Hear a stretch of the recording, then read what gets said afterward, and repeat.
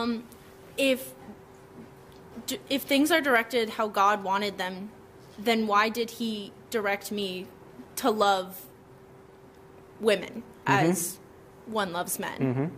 Well, Hello, welcome to my YouTube channel. Hope you are feeling good. Today we're here again with another video titled Why Would God Make Me a Lesbian? Wow, this is really an intriguing question. So let's see how this goes. Go. You mentioned the acorn analogy that an acorn mm-hmm.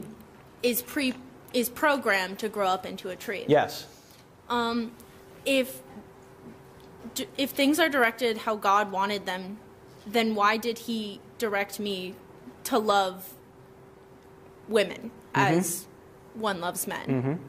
Well, the question might be how do you know God directed you to do that? Right? And there are a lot of things that go on in this world that all of us have. All of us have certain orientations to things we ought not do according to God, but yet we still do them. That's why we live with a fallen nature, right? All of us have a fallen nature. Um, should we expect that in this fallen world that God would give us a nature that wasn't fallen? No. No. So we're, we're all struggling with sin. That's why we need a Savior. Because is- everyone, you and me and everyone in this room, needs the sacrifice that Christ provided, regardless of what our feelings are, regardless of which way we're directed, based on nature or nurture. And as you know, there's a big debate over how much is nature, how much is nurture, uh, for all of our sexual orientations. But are my feelings inherently wrong to have? Are feelings inherently wrong to have? I don't think there's a way you can be blamed for having feelings. Look, I have feelings all day that I ought not act on, and sometimes I fail. But it's not the feelings that are the issue, it's the action that flows from them. Actually, though, if you look at what Jesus said, when you, when you look at Matthew chapter 5, Jesus actually ratchets, ratchets up the standard. He says if you're just angry with your brother, you're guilty. Well, thanks, Jesus. I don't have a prayer of living up to that, and I don't. He says, Be perfect as your heavenly Father is perfect. I can't do that. You can't do that. Nobody in this room can do that. Who can do it? Only He can. That's why we need Him. So we all have these struggles, Sammy. I have struggles, you have struggles. But for us to say that God's at fault for these struggles, no, God's not at fault for the struggles. I don't believe that. Right? You don't believe what? I don't believe that he's at fault. I think we Right. all make mistakes, but I don't think something so like something like love that's supposedly pure. It can be pure in the way that a man loves a woman or a man loves a man or a woman loves a woman. Who's to say that the way you love your wife Mm-hmm. is any different from the way I'm going to love someone in the future, whether it be a man or a woman? Well, it's not me to say anything because I'm not the moral arbiter of the universe. That's true. right? So I'm, I, I don't decide right and wrong. This is why when people come to me and say, well, don't impose your morality on me, like I said earlier, I said, this isn't my morality. I didn't make any of this up. In fact, there were things I wish were different, but I'm not the general manager of the universe. I'm not God. So I guess back to your, your question, you'd have to define exactly what you mean by love. What, is, what does love mean? Can you care for somebody of the same sex? Of course you can. I do. The question is should you go further than that into some sort of romantic relationship? That's the question. I think you should. Well, okay, you can take that. You're, it's a free country. But scripturally, if you believe in the scriptures and if you believe in natural law, Define natural law. Natural law is the idea that everybody intuitively understands moral right and wrong on the big issues. That there's a natural design to us, there's a natural design to the universe, that we're intended to go in a, a particular direction, and that we know we're supposed to shun evil and we're supposed to seek the good. So, And you think that natural law was founded by, like, Christianity? No, no, no, no, no, no. It existed long before Christianity. That's Founded why, for God. example, Noah, the entire generation of Noah was judged. They didn't have any scripture, they didn't have any Bible, but God expected them to know basic right and wrong because He had written it on their hearts. So you don't need the Bible to know basic right and wrong. Everyone already knows it. Now we can suppress it We can reject it, we can go our own way, and all of us do on occasion, but it's still there. Wow. What an interesting answer. You can tell uh, our question is a bit uh, tricky.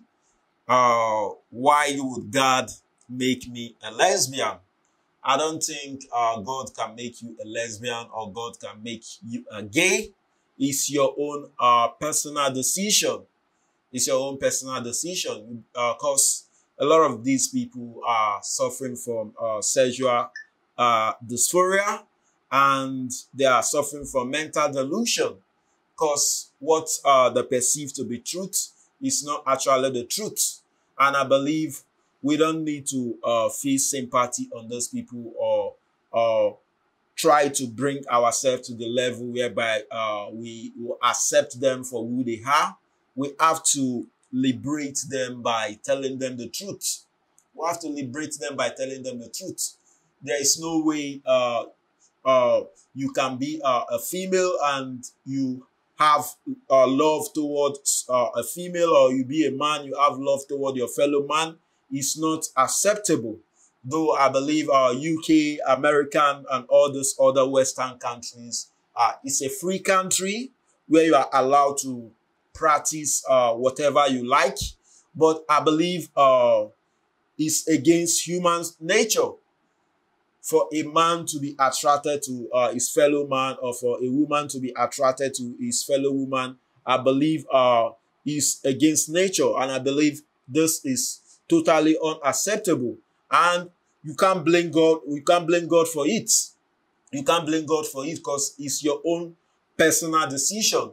God has given everyone the, the, the free will to decide on what uh what you want and what you, you don't want to decide on uh whatever you want to do. But God has implanted uh, uh, uh has implanted his law, has implanted uh, uh, something in your heart for you to be able to know what is good and what is bad. So, uh, for you to not uh, blame God for your problem, I think uh, that is totally wrong. You deciding to be a gay, you deciding to be a lesbian, you deciding on who to love is your own personal decision, not God's personal decision. God has placed in everyone's heart uh, the, the, the ability to be able to discern what is good and what is bad. So you choosing to be a lesbian or you choosing to be a gay, God has not made you to be so. God has not made you to so to be so. And when I hear uh, this type of question, I genuinely feel uh, compassion because you can tell the world is becoming dark. And we have been lied to as a generation, as a people, and you can see those lies uh you can see you can see those lies uh, in our question you can see those lies in our question i believe when you are born as a baby uh, i understand when we are born as a baby we are not a, a sexual being and by nature uh, when you are born as a baby you are not born as a gay you are not born as a straight you are not born as a lesbian you have no attraction you can't tell me uh, when you are born as a baby, uh, you, you are attracted, uh, that a baby can be attracted to the to the next baby uh, beside uh, the baby, or the baby can be attract the baby can be attracted to uh, uh, the uncle, the dad, the sister. When you are born as a baby, there's nothing like an attraction. So you can't blame God. You can't blame God for that. And from the question she asks, uh, you can tell the first thing we can, uh, the first lie in our question is uh, we should find our identity in our orientation. We should find our identity in our orientation. How can you find your identity in your orientation? If you are made as a male, you are a male. If you are made as a female, you are a female. You can't change the XX chromosome. You can't change the XY chromosome. If you are born as XX chromosome, you remain as XX chromosome. If you are born with uh, XY chromosome, chromosome, that's how it's going to be. You can't tell me uh, we should find our identity in our sexual orientation. That means uh, you can identify as a man, you can identify as a woman, you can identify as a dog, as a trans, as a cat. You just feel you can identify yourself as whatever you want to identify yourself with. And I believe uh, we are in a free country. You are free to identify yourself uh, whatever, with whatever you want to identify yourself with. And I'm not going to impose uh, my own moral values on you. And you can't come and tell me that because you have identified yourself as a male or as a female, that means I should uh, I should also uh, uh, uh, uh, accept you as a male or as a female. Wise, I know you are. Uh, if you are a female, I know you are a female. You can't tell me you identify yourself as a male, so I should accept you as a male. So you, it's not by it's not by identity. You can't identify yourself with whatever you want to identify yourself with. Because if you are born with XS chromosome, you remain XS. If you are born with XY, you remain XY. It can't be changed.